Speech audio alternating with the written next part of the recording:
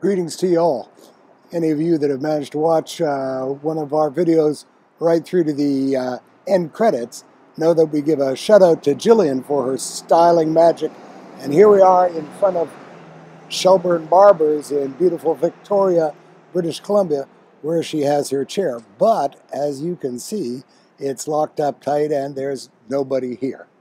And as we all know, it's just part and parcel of living through a pandemic.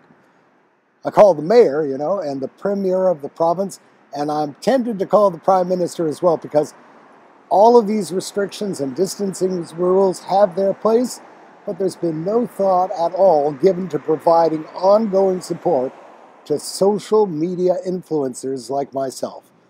You know, I was pretty choked when the mayor didn't even know who I was, but was even more surprised that when I revealed to her that I had a channel with over 50 subscribers, she seemed totally unimpressed.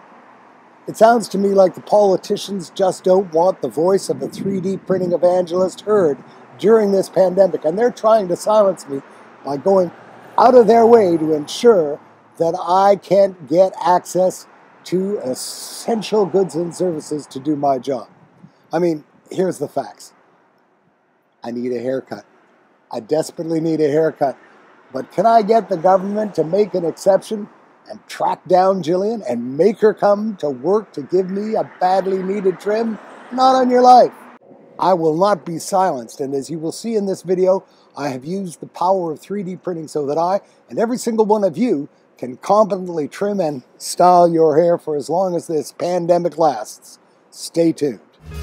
Printable Science presents a set of 3D printed razor combs for all your personal hair grooming needs. This video has been made possible by the generosity of our patrons and viewers like you. As a kid, I remember seeing something like the Popeil Ronco hair trimmer being advertised. It boasted that you could easily do a great job of cutting your hair and you'd never need to visit a barber or hairstylist again. Well, I guess it couldn't have been all that easy, or didn't do all that great a job, or else barbers and stylists would all be out of work and everyone would be cutting their own hair with a Ronco hair trimmer.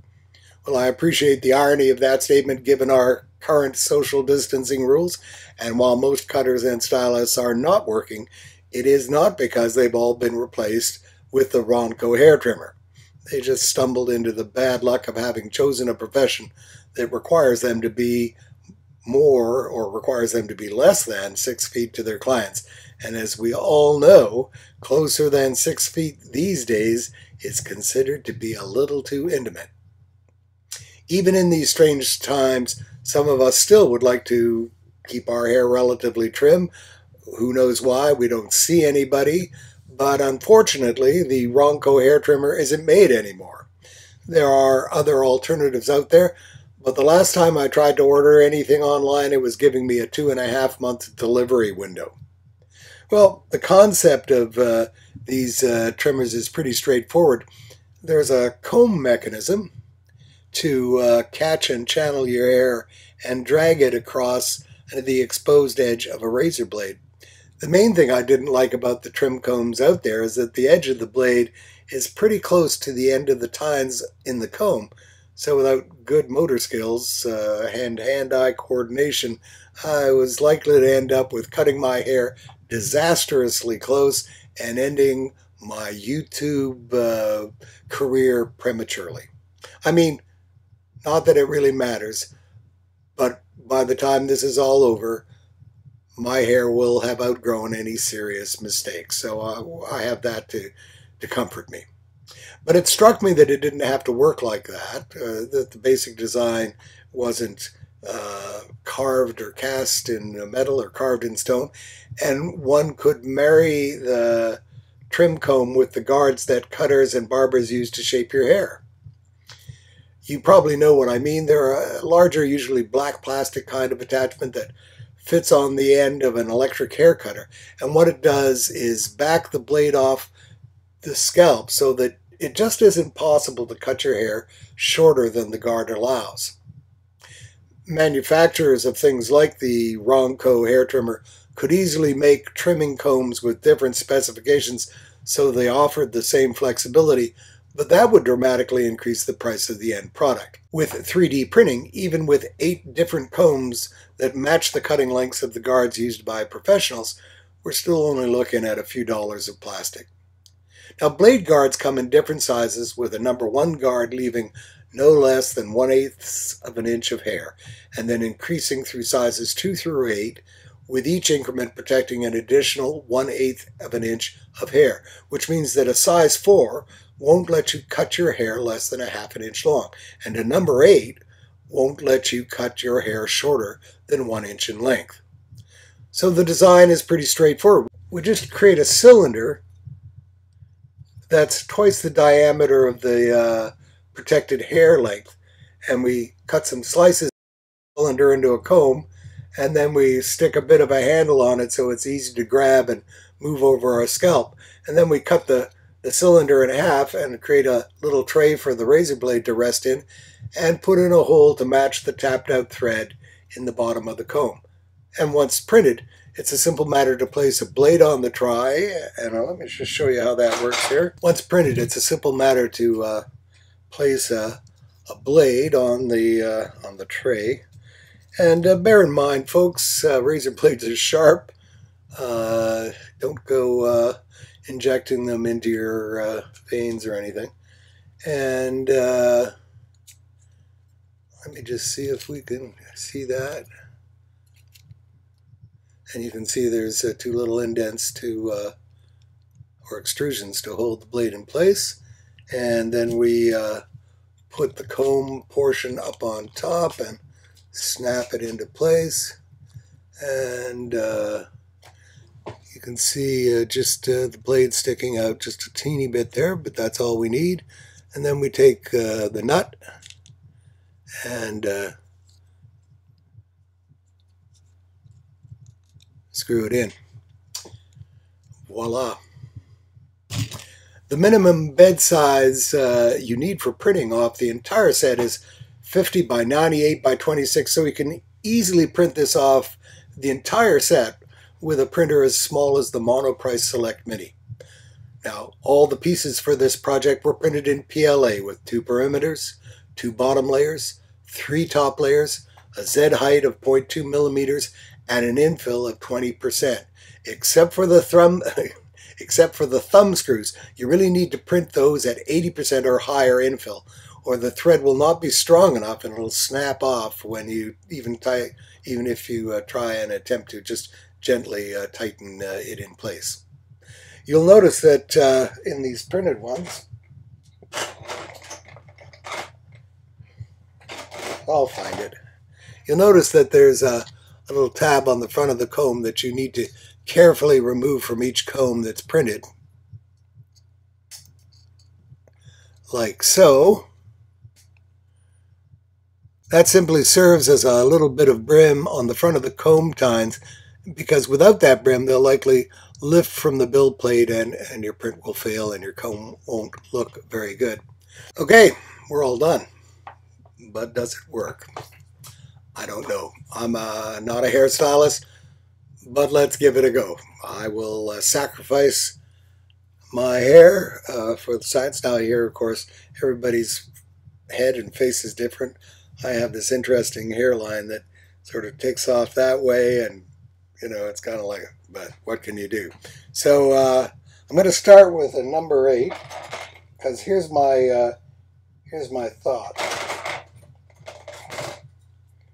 Tell you what I'm going to do. I'm going to pause right now, and I'm just going to get my entire set of uh, of uh, blades uh, or trimmers ready so we can watch this grand experiment or this grand experiment can go smoothly. So just give me a second. Okay, so I think we're about ready to go. I got a strategy here. Uh, I figured what I'll do is I'll start with the with the biggest one, which is a, a number a number eight, and uh, that uh, means uh, that'll protect an inch of hair. And uh, so if I go over all this, and so I want it, you know, long on the top and shorter on the sides. I think that's uh, what's called short back and sides in the business, but I don't really know. So the point being here, of course, is that that is the uh, that's the protected length. If you press this part against your scalp, uh, it's not going to cut. Uh, it's always going to leave at least an inch of uh, hair there. And so if you want it a little bit longer, then you can uh, uh, have it hit a different part of your scalp and, and so on. So as I say, going to uh, taper this a bit and we're going to go and do my whole hair head with an 8. Let's see how this goes. Hair has a natural nap to it and uh, you want to go against the nap. We're starting to get some hair coming off there. Starting to get scary. Well, that doesn't seem to have taken, we're taking really all that much off, so now I think we can go down to a 7. Still kind of long, so let's try a, let's try the number 7.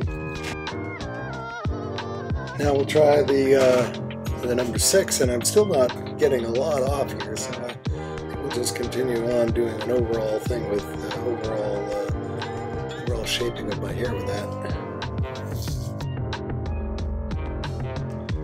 And we're how uh, Lamem shows. I think uh, trying number five now. I, you know, I'm, I'm feeling it kind of like tug at my hair, and uh, you know, I've seen that uh, lots of people, when I was uh, doing some research, suggest you, you if you're using this kind of uh, razor comb, then uh, you might want to put uh, conditioning or even some vegetable oil on your hair. Don't eject it, and maybe we'll try that later. So we're just working there. We're trying to find out if this works, right? Try the number four.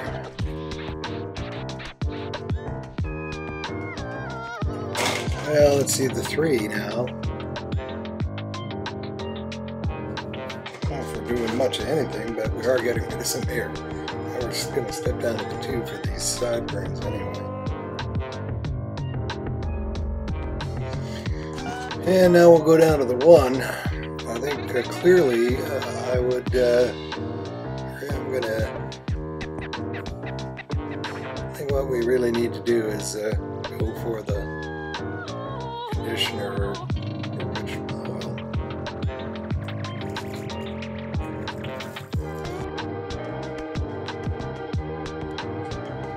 Well, I'd say we're having some success here. I don't know if it's. Uh, we're be looking forward to Jillian getting back to work. Well, it's all getting back to work. It's kind of doing its thing. And uh, I guess it'll keep me out of trouble till uh, they start living, so, lifting some of the uh, restrictions. But we're, you know, taking off uh, fair amount of hair there.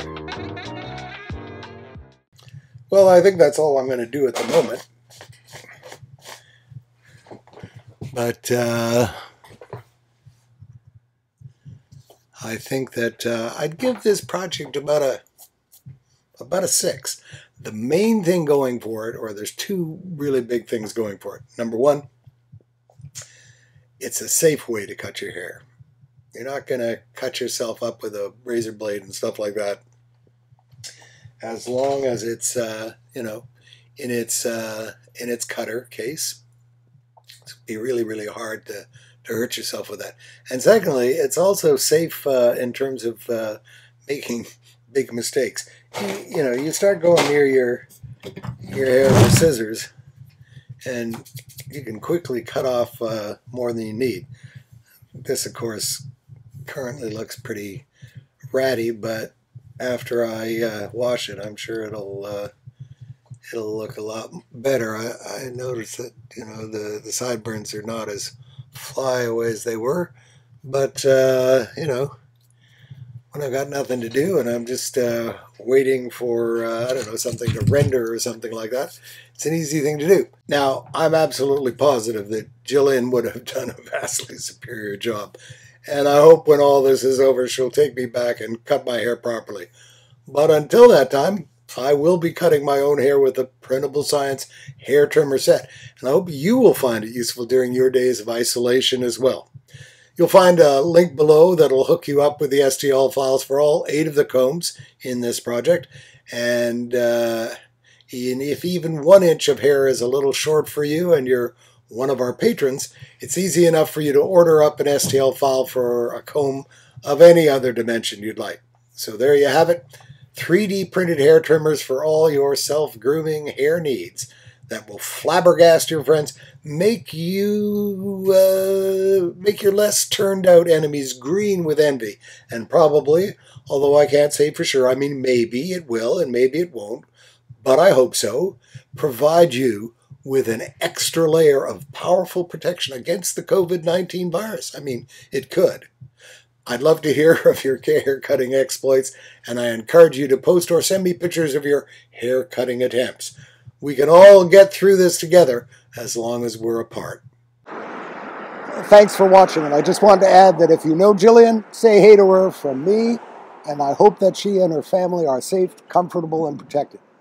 We're working on lots of neat projects and have some pretty interesting ones coming up soon, so I hope you'll keep in touch. As always, we also invite you to visit our website at printablescience.com, where all the science that fits, we print.